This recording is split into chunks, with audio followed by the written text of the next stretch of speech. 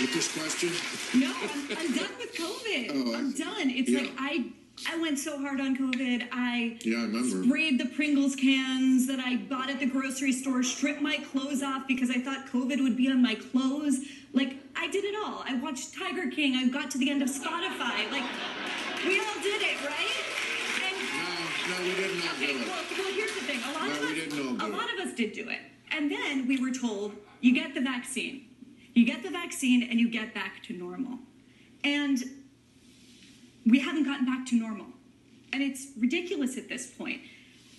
I know that so many of my liberal and progressive friends are with me on this, and they do not want to say it out loud because they are scared to be called anti vax or to be called science denial or to be, you know, smeared as a Trumper.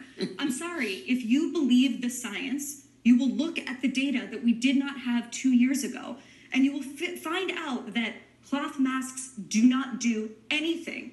You will realize that you can show your vaccine passport at a restaurant and still be asymptomatic and carrying Omicron. And you will realize, most importantly, that this is going to be remembered by the younger generation as a catastrophic moral crime.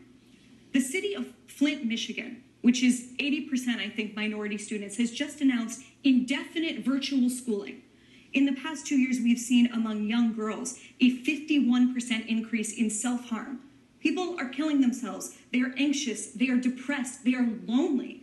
That is why we need to end it more than any inconvenience that it's been to the rest of us. I think it's, it's a pandemic. It's, it's like at this point, it's a pandemic of bureaucracy. It's a pandemic of bureaucracy. It's not. It's not real anymore. Let's not forget.